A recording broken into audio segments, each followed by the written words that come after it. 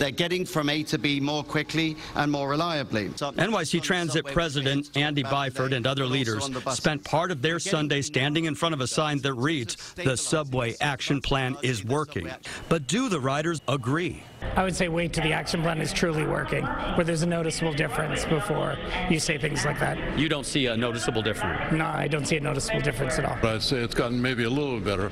Byford said on time performance of the subways improved and is 76.7%, which is the best in more than four years. we have spent around 700 million of the 836 uh, to date.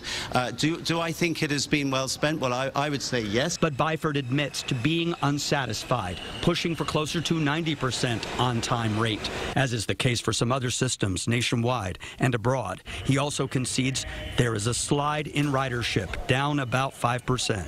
We need to look at the reasons for ridership uh, softening and in some cases declining, and it's largely uh, on weekends. That's because those times are when work is being done. Leaders of the Riders Alliance say the Sunday announcement must be seen as only the beginning.